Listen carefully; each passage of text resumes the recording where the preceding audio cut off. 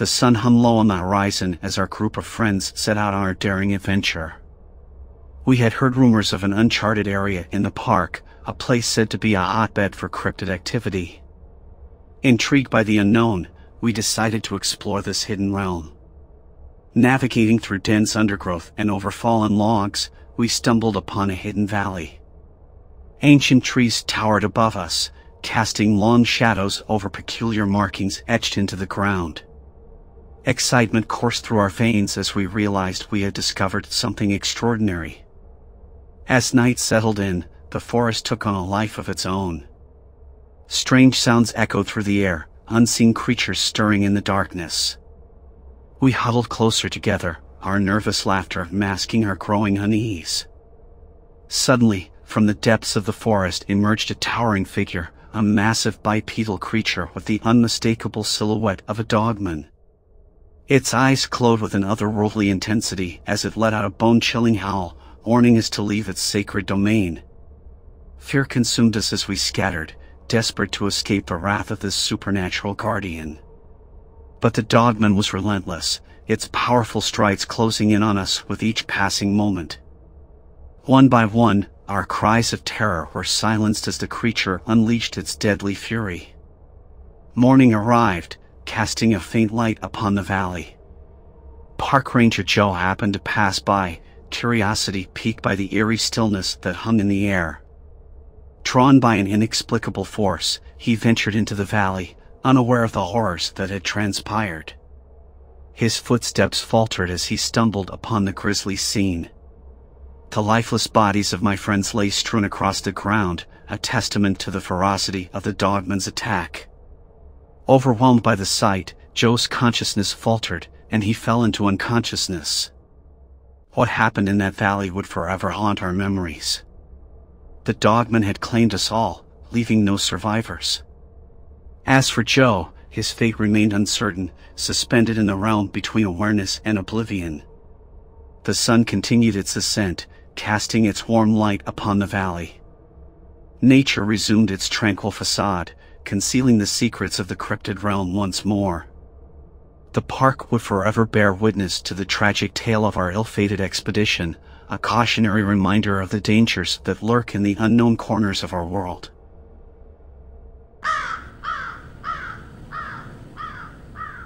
Hey everyone! Last night I remembered a time I think I experienced sleep paralysis. I say sleep paralysis because I have no other logical explanation for what had happened. It was years ago, and I couldn't sleep at all. At around 4 a.m. in the morning the door to my bedroom was opened and out came a woman who looked very similar to my mother. Only she was eerily pale and had a crack in her face as if she was made out of porcelain. Her hair was wiry and she hunched over. My heart was pounding as I saw her and she said in a low rumbling tone to go to bed. But it came across almost like a threat, pointing her long nails at me. I tried to scream, but I couldn't get the word to escape my lips. It was as if they were sewn shut.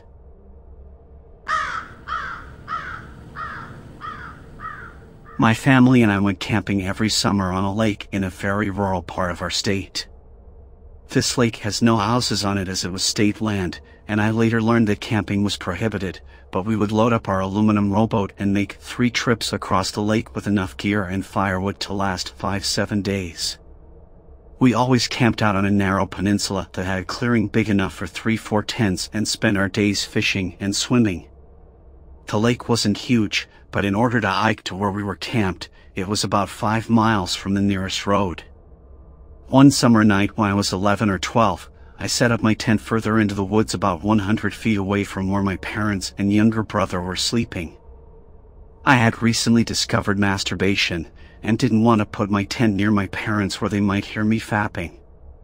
Anyhow, things start off like usual. My dad takes me and my brother fishing while my mom starts making her famous camping stir fry, and we all have a great night around the campfire.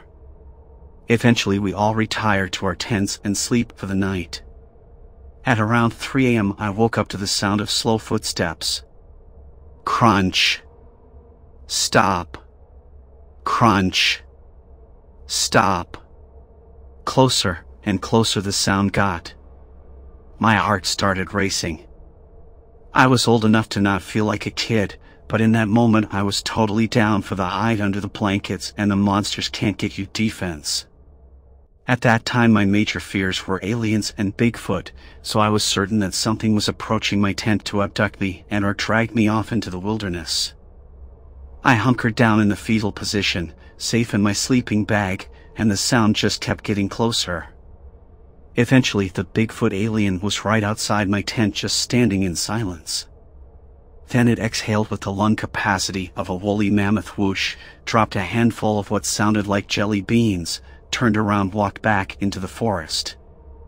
I never really got back to sleep, but a few hours later under the safety of the rising sun, I mustered the bravery to leave my tent and survey the area. Directly outside my tent was a pile of deer shit and a couple of fresh tracks. The woods are scary. I've always been drawn to the secrets of the past, the whisper of ancient civilizations, their stories etched into the very earth. So, when I moved to this small New Mexico town, nestled near the ruins of the Anasazi, it felt like coming home. Little did I know, I had awakened a nightmare. The day I found the relic, a strange, stone figurine, was the day our quiet town was cast into a shadow of fear. It started with the echoes, eerie, wordless whispers that seemed to come from the ruins themselves. Then, the animals began to act strangely, their eyes filled with a primal fear. And then, the deaths began. Each body we found was more horribly mangled than the last, their deaths a gruesome mystery that sent waves of fear through our close-knit community. It was during these dark days that I met the local Navajo elder, a man named Crayal, who held the keys to our salvation. He told me of the Skinwalker, a malevolent spirit capable of shifting forms between man, beast, and mist. The relic I had unearthed, he said, had trapped the spirit for centuries, and in my ignorance, I had set it free. Fueled by a desperate need to undo my mistake, I found myself drawn into the world of Navajo legends. Crayal became my guide, as we delved into the history of the Skinwalker, searching for its weaknesses, for a way to put the spirit to rest. We were plagued by horrifying visions of the Skinwalker, its form twisting and changing before our eyes. Its growls haunted our dreams, its presence a chilling undercurrent in every shadow. And all the while, the death toll continued to rise. But we pressed on, piecing together the fragments of ancient lore, fighting against the clock and the creeping dread that threatened to consume us. The Skinwalker was a creature of malice and trickery, but it was not invincible. Every creature, Crayal insisted, had a weakness. When we discovered it, it was almost too simple, the Skinwalker could not resist answering to its true name.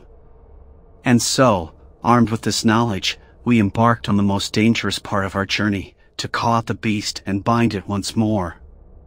The night we confronted the Skinwalker was one I will never forget.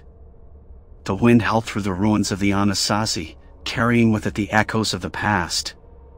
As Crayal chanted the Skinwalker's true name, the air grew thick with a malevolent energy. And then, it appeared. It was a terrifying sight, shifting from man to beast to mist, its form barely contained by the mortal realm. But Crayal stood strong, his voice unwavering as he repeated the name, binding the spirit with the power of its own identity. With a final, bone-rattling howl, the skinwalker was pulled back into the relic, its form shrinking and twisting until all that was left was an eerie silence.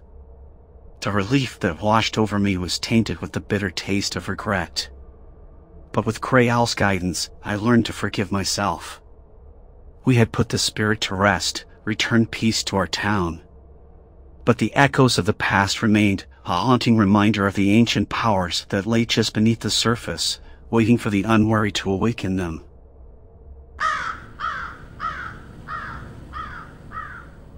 I have many stories, but these stick out for me, camping in the Alberta foothills in a remote place with my mom. We're just finishing up dinner, probably crap dinner, and it's dusk and we hear a crashing through the woods. The dog starts to go crazy and we watch, frozen, as a moose yearling comes barreling towards and past our sight trailed closely by a large black bear. Doesn't get more Canuck than that. Decades later, I'm, female 30, on a solo Mikatayan with my dog in the West Kootenays. 16,000 up a logging road from the nearest pavement and I ditch my car to backpack down and camp on a deserted white sand beach. I see no one all day so I'm swimming and suntanning and drinking and smoking weed in the nude and just generally being my degenerate granola self. At one point a fisherman trolls by and there are some far off boats but that's the most human interaction I have. I stoke a huge fire and play loud tunes. Bedtime comes and I shut down my sight and tuck the dog in the tent with my axe and hunting knife and we pass out. I wake up hours later to the sound of footsteps in the sand. Not really getting closer, almost as if whoever it is is circling at a distance.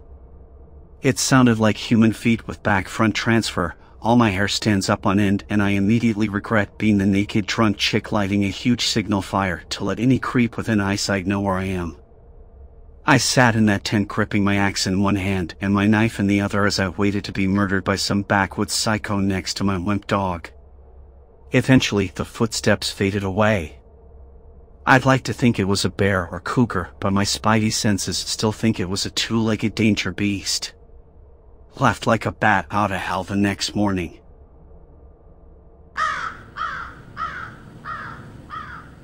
I never imagined that my job as a park ranger in Sequoia National Park would lead me to the edge of the unknown.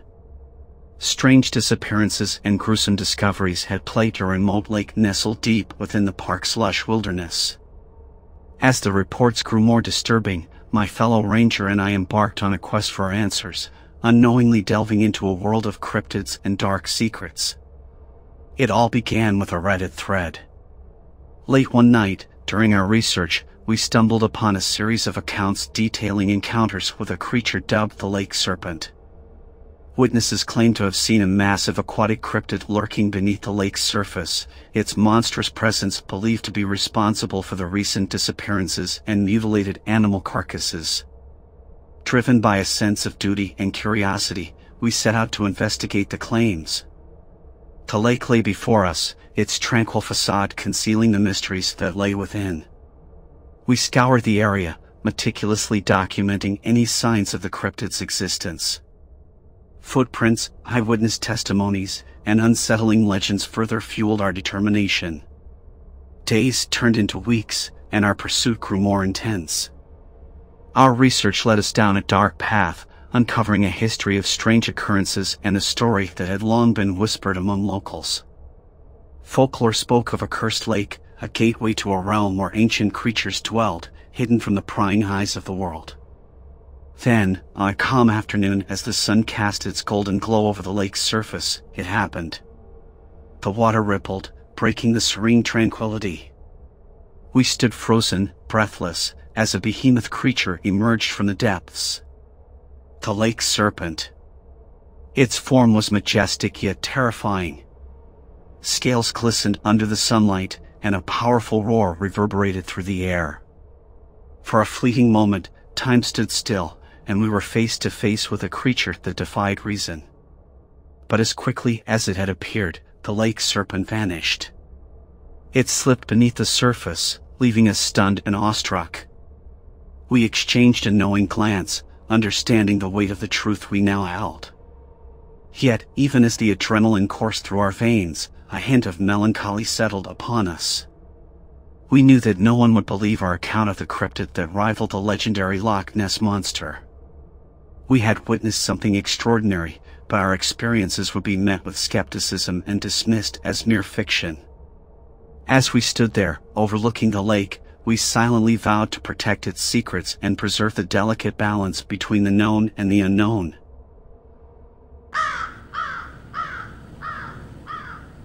I had a sketchy experience yesterday, figured I'd share the story. It was about 4 a.m. and I had just gotten done reading that Fleshgait dump thread that was up here yesterday when I decided it was time to go out back for a smoke.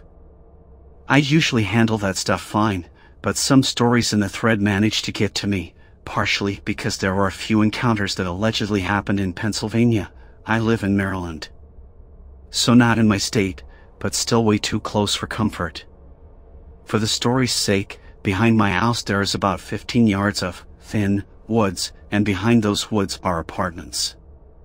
To the right of my house there is a big clearing, with a patch of bamboo behind that. All this is pitch black mind you.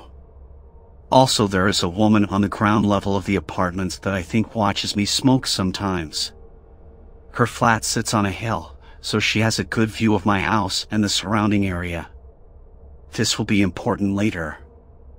So anyway, I stepped out the glass sliding door on my room to my backyard, and things started to get weird. Once I got out there, I started to hear meowing coming from the bamboo. I have a cat so part of me wanted to investigate. It sounded like it was young and possibly injured, but I obviously decided if all that, because 4 a.m. The cat however kept making the same exact cry, over and over, at what seemed like perfect five-second intervals. I eventually just started to ignore it. I lit up my cig, and instantly felt like I was being watched. After getting that sinking feeling, I started to now hear footsteps coming from the bamboo patch. It sounded too big to be a cat or something, but still too small to be a human, but I wasn't quite sure. Needless to say the Fleshgait stories in Pennsylvania had me creeped, and I couldn't see shit, so I decided to run back inside really quick and grab my glasses. While I was inside I decided that the pitch darkness would make it too easy for something to creep up on me out of the woods, so I decided to turn our outside light underneath our deck as well. Here is where I really started to nope. After I stepped back outside with the light on, I noticed the lady across the way also turned on her porch light. She has a glass sliding door that faces in my direction as well. At first I thought nothing of this, because she flicks her light on from time to time while I'm out there. I always just assumed she was nosy and wanted to make sure I wasn't doing drugs or something. So I continued to smoke my cig, still had the feeling of being watched, but the added light plus my glasses made me feel secure enough to kill my cancer stick. I started thinking more about the lady with her light on, and realized it's pretty weird that she's looking out here through the woods at 4 a.m. I mean she literally turned on her light two seconds after I flipped mine on almost as if she was signaling or something. I took a few more drags and thought I heard the footsteps again, but they sounded closer, like they were at the edge of my fence where the porch light couldn't quite reach. As soon as I noticed this, she turned her light off. Then back on again. Then off, then on. She continued this cycle for about 30 seconds, before eventually shutting off all the lights in her apartment altogether. I thought about this weird pattern for a second, because she had never done that sort of thing before. Whenever I had been out there in the past, if she turned her light on it simply stayed on until I went inside. She has never done this on, off, on, off, on before. I started to make a few connections in my head and right away thought of that urban legend where a lady unknowingly gets into her car with a killer in the back seat, and the asshole truck driver behind her keeps riding her bumper, while flashing his high beams to alert the woman to the danger. This made me nope the F out I started to see the similarities. Was this supposedly nosy, middle-aged woman flashing her porch light at me to alert me to something that I didn't notice? I have about a six feet tall fence around my yard. Something could have been waiting in the darkness on the other side of the fence, or only she could see due to being atop a hill. This also got me creeped at the cat meowing. One of those things could be aware that I have a cat, and try to mimic the meow to try to lure me over. As soon as I connected these dots I shat some bricks and went right back inside. She never flickered her light again. I didn't fall asleep until about 6 when the sun came up. And that's my story.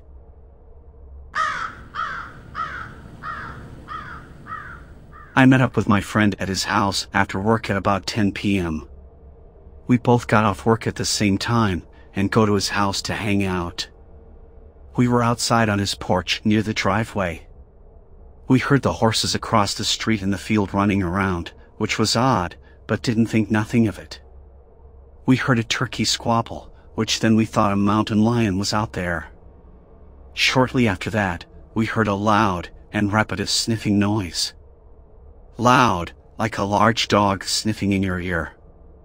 After a few seconds of wondering, we went to the edge of the road. I made a coughing noise to get a reaction from whatever it was out there. Just as I did that, we heard a very loud and aggressive grunt. We went inside to grab a rifle and a flashlight. We for sure thought it was a bear or mountain lion, and we knew it was close. We went back to the edge of the road. The road separates his driveway from the field where the noise was coming from.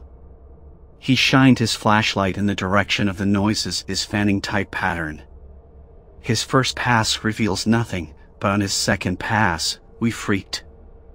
There wasn't much light except the motion detector and our flashlight. With that, we saw the figures of two creatures in crouch position just in front of the fence in the field. They were literally 15 feet or so in front of us. Their eyes were staring right back at us, and they were close together on their faces, not like a horse. Just then one of them stood up on two legs. At this point I had moved to the side a little because I did not want my friend in my line of fire, just in case. I had a diagonal view of the creatures now. I can tell you that this thing stood about 7 to 8 feet tall, because the fence is 5 feet tall, and this creature rested its forearms on top of the fence without effort. I mean it could have scaled the fence easily. The other creature remained crouched. I could see their circle-shaped heads. They had a shadow, because the light, so their shapes were pretty clear, and we were so close the measurements of their shadows were not too far off from actual. The one that stood was incredibly big. He was boasting his chest out, maybe to intimidate us, or for defense. We all just stood there for a minute looking at one another. I was asking my friend what he thought it was and he did not know. My friend is an avid hunter of all game and has never encountered anything like it. We then realized that is weird and also realized how close we were to these creatures. We could see that the one crouched was smaller than the one standing, so the creature might have gotten defensive and backed up. We were scared, but did not feel threatened. However, the creature could have easily scaled the fence and got us if it wanted. I mean, it was probably watching us long before we saw it. Our fear finally sunk in, and we went inside to look out the windows. We did not see anything else, but the dogs in his backyard started barking about a minute or two after we came inside. Dogs that live in the area always bark due to other animals that wander down the mountain, which is a clear shot from the field where this creature was. I have not been to his house at night ever since, and he has recently moved from the residence anyhow. At the time, I was a college student and have since did service in the military, and I am single father. I have no need to make this up. I'm not sure what I saw was a Bigfoot, but I know it wasn't a horse, mountain lion, or bear. Bears do not live in this part of the area. They live in the region, but not here. This part of the valley is too dry, and their food source is not here either. I researched the bear population and the likelihood of a bear entering this area. It is not common. What I saw stood like a large man, moved like a man, and looked like a man, but was not. This is the first time I have formally reported this.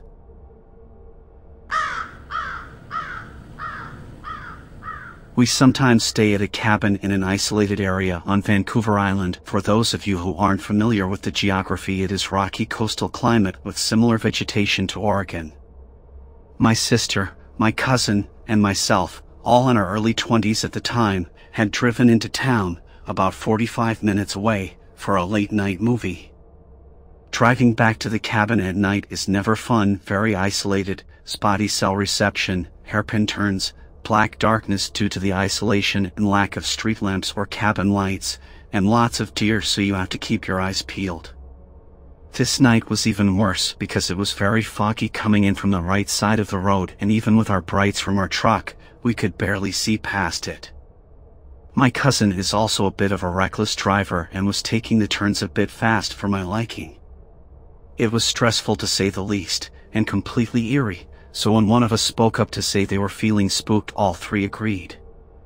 So we get to an isolated stretch with literally nothing but forest to our right and a steep incline to our left, and suddenly, onto the shoulder of the road and out of the fog steps a boy. He looked about no more than 12 years old, and he was just standing on the shoulder of the road from the forest watching as our car drove by. I get creeped out just typing this. He wasn't injured, was not trying to flag us down or get our attention necessarily, beyond his mere presence on the side of the road in this ridiculously isolated area, at midnight in the fog. And had a very neutral expression on his face which was surprising given that we probably almost blinded him with our brights. We freaked out, my cousin almost swerved off the road. My sister was sitting in the back and didn't pay attention until my cousin swerved. She looked in the rear view assuming we had just narrowly avoided a deer and in a nervous voice said, um, I think I am seeing things, but did you guys just see a boy on the side of the road in the fog? Once we confirmed that none of us were hallucinating, we debated turning back, and in retrospect, we probably should have pulled over to see whether he was a runaway or in an accident and if he needed help, but we were way too freaked out and just continued on. To this day, I cannot figure out why he would have been out there, and it sends shivers down my spine to think about it. I like to hike out in the forest in Northern California a lot, hunting mushrooms. One day, I'm out in the woods, not a soul around, and I hear the extremely eerie wail of an earthquake siren. They must have been testing it, but being out in the middle of the woods and hearing that was like being in Silent Hill. It continued for several minutes, not a normal siren either, a really long, drawn out up and down wail of a siren. The kind that would give you chills on a sunny day. I live out in the cornfields. I used to hike my neighbor's cornfield all the time, with permission from my neighbor who owned the cornfield. He knew my family because my dad dated his daughter way back when, and he liked him. Of course my dad and his daughter broke up, but he still liked my dad, even more so when my mom and dad became his neighbors. He had a brook running through the cornfield for natural irrigation, this brook was part of a river that spanned pretty much the whole county and it entered on his property in a forest that was on the edge of his property and my other neighbor's property. It was 100% his property, and not mine nor the other neighbors. So one day, while I was young, I followed this brook to the forest, simply because it was summer and I had no school and nothing better to do. What I found was this nice little waterfall, not too big and not too small. It was perfect, especially with the canopy of the forest covering it. It was my little hideaway from the rest of the world. When we had a dry spell, I would go there and relax on the bank of the brook and look at all the minnows and spawn that had been swept away from farther upstream. But when it had been raining, the entire area was flooded, so I couldn't even get to it, let alone relax on the bank. After so many years in Cub Scouts and Scouts, I learned the importance of keeping that area clean and I did just that. I followed what I learned from scouting and left no trace, because it was a beautiful REA and I wanted to preserve it for my next visit. While that all changed when the other neighbor died and a family with young kids moved into his old house. Remember this wasn't their property, but it was close to it. One day I went there and I found what could only be described as a war scene. The waterfall had been diverted, the brook had been dammed, and there were toys and plastic bottles and wrappers everywhere. I knew immediately this was the doing of my new neighbor's kids. This place of nature and peace had become the playground for a bunch of inconsiderate children. The minnows and spawn were almost gone. I saw buckets full of them, so my only guess is that the kids were collecting them and keeping them as pets. The most messed up thing I have ever seen is an area that everyone would consider beautiful and peaceful turned into a playground for inconsiderate children who could care less what they leave behind or do to it. I had always been drawn to the tranquility of nature, which is why I became a park ranger. When I was assigned to Olive Grove Park, I was thrilled. The park was shrouded in a serene beauty that made me feel at ease.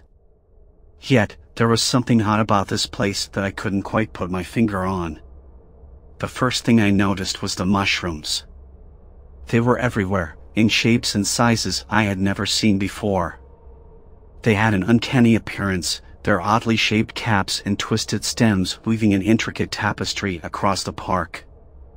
The fauna and flora seem to behave strangely around these mushrooms. The birds would avoid flying over them, and the usually adventurous squirrels would scamper away at their sight. The flowers around the mushrooms seemed to bloom less brightly, and the grass seemed to grow less green. Soon, visitors started reporting sightings of a strange creature. They described it as a bizarre cryptid that seemed to sprout from the fungi itself. It was said to move with an eerie grace, its form undulating and shifting as it moved amidst the mushrooms. The reports unnerved me. As a park ranger, it was my duty to ensure the safety of the park and its visitors. I decided to investigate, to uncover the origins of this cryptid and its connection to the mushrooms. As night fell, I ventured into the park, armed with a flashlight and a resolve to find answers. I moved slowly, my eyes scanning the illuminated patches of earth for any sign of the creature. After what felt like hours, I saw it. In a clearing filled with mushrooms, it emerged. It was unlike anything I had ever seen. It was a part of the mushrooms, yet separate. It moved with an uncanny grace, its form constantly shifting and changing. It seemed to be a part of the park itself, a manifestation of the mushrooms that dominated the landscape. I realized then that this cryptid was not a threat, but a guardian. The mushrooms were a part of its life cycle, its form and existence tied to their growth. It was an essential part of the ecosystem, maintaining a balance. But something was disrupting this balance. The excessive growth of the mushrooms was a sign of a deeper problem, a symptom of an imbalance in the park's ecosystem. I spent the following weeks working tirelessly, conducting soil tests and studying the park's flora and fauna. My efforts paid off when I discovered an invasive species of plant that was leaching nutrients from the soil, causing the mushrooms and, in turn, the cryptid, to multiply in an attempt to restore balance.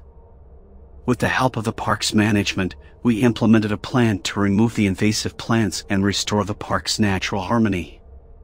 It was a long process, but we eventually managed to contain the situation. The mushrooms returned to their natural numbers, and sightings of the cryptid became rare. The park returned to its peaceful state, its serenity no longer marred by the unsettling growth of mushrooms. I often think back to that strange cryptid, a creature born of nature's resilience.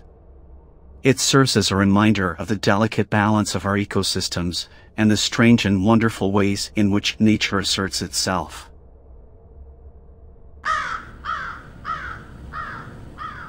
As Sergeant James Odysseus Colton, leader of a Navy SEAL team, my life was defined by high-stakes missions and unimaginable pressure but nothing could have prepared me for the horror that awaited us on a seemingly routine recovery operation in South America.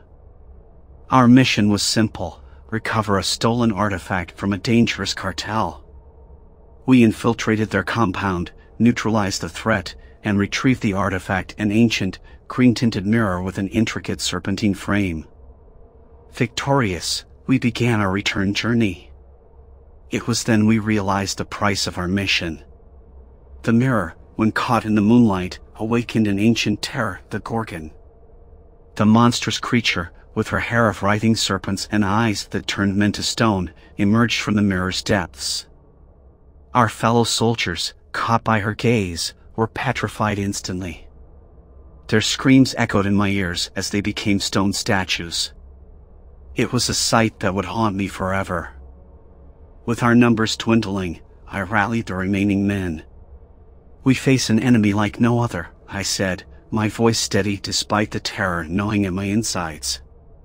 But we're seals. We adapt, we overcome. We fought the Gorgon with everything we had. Bullets ricocheted off her scaled body, grenades did nothing. It was the mirror, I realized, the artifact, it was our only chance. With a daring plan in mind, I ordered my men to distract the Gorgon while I maneuvered myself behind her, the mirror clutched tightly in my hands. The Gorgon, focused on my team, didn't notice my approach. With a deep breath, I thrust the mirror in front of her. Caught in her own gaze, the Gorgon stiffened. Her serpentine hair hissed and writhed before turning rigid. In moments, she was transformed into a monstrous stone statue. Our relief was short-lived as we took in the stone forms of our comrades. The victory was bitter, our loss is too great. We had defeated the Gorgon, but at what cost? The artifact, we later discovered, had been part of a dangerous gambit by the cartel to unleash chaos and seize power amidst the confusion. Their plan backfired, but it was us who paid the price. As we left the battlefield, the stone forms of our brothers in arms a stark reminder of the cost of our duty, I made a vow. We would honor our fallen, and we would continue to fight, no matter what horrors we faced. We were the seals, and we would never back down.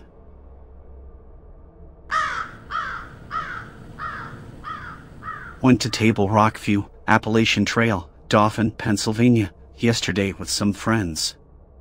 We wandered a bit off the trail to look at an interestingly shaped rock and me and another friend heard what sounded like a fox, but the noises were more like how an owl but a bit more high-pitched.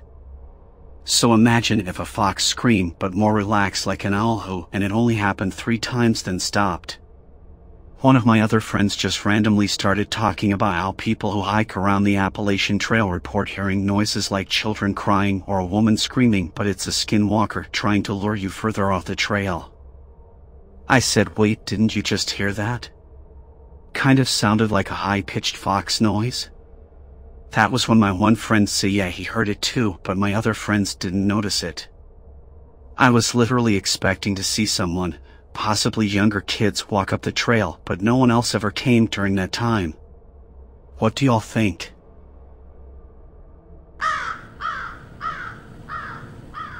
I had always loved my job as a park ranger. I enjoyed the peace and quiet of the wilderness, the sound of the birds, and the fresh air. However, my most recent adventure in the woods had been anything but peaceful. It all started when I received a call about a group of campers who had gone missing in the woods. I immediately set out to search for them, knowing that the dense forest could be dangerous for those who didn't know the terrain. As I made my way through the woods, I noticed something unusual in the distance. It looked like a small town, but one that I had never seen before. I decided to investigate, hoping to find some clues as to where the missing campers might have gone. As I approached the town, I noticed that something was off. There were no signs of life, no movement, no sound. The town looked completely deserted. As I began to explore the town, I realized that it had been abandoned for years. The buildings were old and crumbling, the paint was faded, and the streets were overgrown with weeds.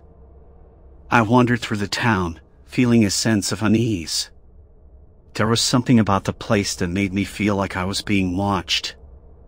It was then that I heard a noise, a rustling in the bushes. I drew my weapon, ready for anything. But as I turned to face the source of the noise, I saw a group of campers emerging from the woods. Thank God we found you, one of them exclaimed. We've been lost in these woods for days.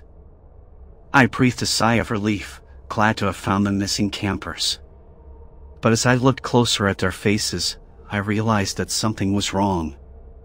They looked pale and frightened, as if they had seen something terrible. What happened to you? I asked. The campers hesitated before one of them spoke up. We stumbled upon this town, and we thought it was abandoned. But then we started to hear strange noises, and we saw things moving in the shadows. Something's hunting us, and it's getting closer with each passing moment. I knew that we had to leave the town immediately. We packed up our gear and set out, hoping to make it back to the safety of the park. As we made our way through the woods, I could feel the presence of something following us. It was like a predator stalking its prey, waiting for the right moment to strike. We tried to move quickly, but the woods were thick and the terrain was treacherous. We stumbled and fell, struggling to keep up our pace. And then we heard it, a growling sound that chilled us to the bone. We turned to face the noise and saw a creature emerging from the shadows. It was unlike anything I had ever seen before. It was tall and muscular, with sharp claws and teeth, and a fur-covered body that glinted in the moonlight. The campers screamed and ran in terror, but I stood my ground. I raised my weapon, aiming for the creature's heart. But as I fired, I realized that it was too late. The creature had already pounced on me, its claws tearing through my flesh. I fell to the ground, feeling my life slipping away. The last thing I heard was the screams of the campers as they fled into the night. When I woke up, I was in a hospital bed. The doctors told me that I had been found by a search party wandering through the woods in a state of delirium.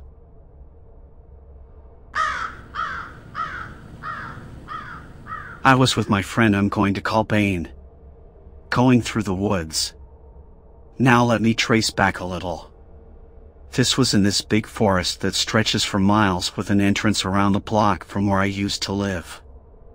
I saw and heard all kinds of scary phenomena in that woods. One time I was walking through with Bane and when you first get into the woods there's a path to the right that's blocked off by a fallen tree. If you go to the left there's a little hill that goes down now there's two paths to go. The one on the left leads to a forest with denser trees and the one on the right has the same trees all the way through. If you go to the right there's two more really long paths probably about a three or four minute walk but you can still see to the end, one on the left and on the right the time before I heard a baby crying coming from the left. I didn't even get to go deep into the woods this time to be scared out. I thought I was tripping at first I thought it was the tree and my eyes were playing tricks on me. But I squinted my eyes and saw whatever this was was really moving and the reason I thought it was a tree was because I could see through him. It was a man wearing a brown hooded cloak or robe. He was transparent walking left to right faster than humanly possible, but it would only walk two or three feet before turning around and just doing it repeatedly. I ran up fast as heck lol anyways about the Waheela, it's a big giant white wolf kinda like the Wendigo. It can shapeshift but the white wolf is the main form. One time I went down the left path and out of nowhere from the right I see a giant white wolf. It jumped out from a bush and made not a single noise, but this creature is said to kill. It hopped back into the bush and just disappeared. It didn't even scare me.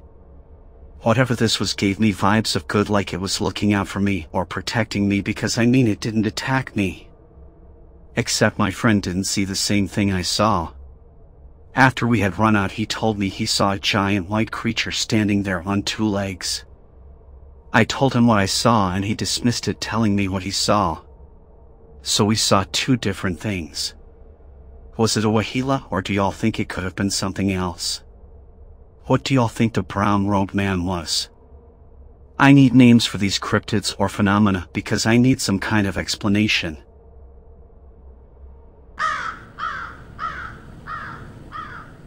The dense forest seemed to hold its breath as I patrolled the winding trails of the national forest. Strange occurrences had been plaguing these woods, incidents that defied logical explanation. A chill ran down my spine as I couldn't shake the feeling that this forest was haunted by an unseen presence. With each step, I delved deeper into the mysteries that clung to the ancient trees. Whispers of tragedy and untold secrets echoed through the rustling leaves, urging me to uncover the truth. The weight of the past pressed upon me, as if the forest itself yearned to share its sorrow. It was then that I stumbled upon the grim history that hid beneath the serene facade. Five past park rangers, their lives extinguished in a shroud of mystery. Their deaths remained unresolved, leaving behind a trail of unanswered questions and a lingering fear that I could be next. As I continued my patrol, a foreboding presence settled over me, intensifying with each passing moment. It was as if unseen eyes watched my every move, their gaze piercing through the veil of reality. My heart raced, my instincts urging me to flee, but duty compelled me to press on. Suddenly, a flicker of movement caught my attention. I turned to face the source, my eyes widening in terror. There, before me, stood a four-legged creature, its body contorted in unnatural angles. Its eyes glowed a haunting red, emanating an otherworldly aura. The locals called it the Crawler, a creature whispered about in hushed tones, said to be a harbinger of doom. Fear and adrenaline coursed through my veins as I raised my weapon, aiming to protect myself from this abomination. I squeezed the trigger, but the crawler evaded the shot, disappearing into the depths of the forest with an unearthly agility. The sun dipped below the horizon, casting an eerie glow over the landscape. I returned to my isolated cabin, seeking solace in the sanctuary of my dreams. Fatigue weighed heavily on me as I succumbed to sleep. The morning light cast its gentle rays upon the campsite, but something was amiss. Campers nearby discovered a lifeless body, lying motionless in the remote cabin. The cause of death, a stroke. A cruel irony that a ranger dedicated to protecting others had succumbed to the very depths of his own fear. When I was around 17, 18, and now 23, probably about a year or so before I had symptoms show up. I worked at a cinema which is notoriously haunted. People quit their jobs from seeing things. Multiple people I know claim to have heard unexplainable voices, laughs, cries, doors locking being knocked on when no one's around that sort of thing. I was working on the food counter and a guy in a wheelchair came in and said look after your body kid in an extremely haunting fashion. Me being an amateur drug enthusiast laughed it off, and I'll never forget the look he gave me when I giggled at what he said. It's almost like I can still see his face and hear how he said it. Eve had sleep paralysis with the guy's face staring back at me. Creepy yes. But the funny thing is shortly after this is when I started experiencing crazy health symptoms, loss of control over my bowels, bladder, pain in legs, arms, etc. I clearly didn't listen to his advice, smoking, drinking, doing pills, sniffing anything that can be sniffed, basically just abusing my body to a high extent. I can't help but think this guy was some kind of messenger, something warning me about the path I was about to go down. So fast forward to today, and not well at all, and it all feels like I've just ignored the signs that were put before me. I've never really been too into the whole God stuff, but I've always left a space for the thought of something bigger than me. But recently Eve started praying before I go to sleep, just asking for insurance with my health etc., hoping for the best kind of thing. I've always had an overactive imagination. I used to think I could astral project and always had crazy lucid dreams. But in the past few days, I feel like when I close my eyes, all I can see is crazy dark shit, almost like demons and dark shit going on. But last night, I had these visions where two people were dressed in like robes and one of them offered me a hand, which I took. One of them then continued to dig into my chest and seemingly remove the pain in my chest and then held their hand up almost bringing attention to their five fingers. I don't know what this means and it kinda scares me as to what it could. I guess what I'm here saying is, you guys just think I'm nuts. Anyone had any similar s going on in their life? Is it time to fully accept God into my life? F knows, let me know what you think.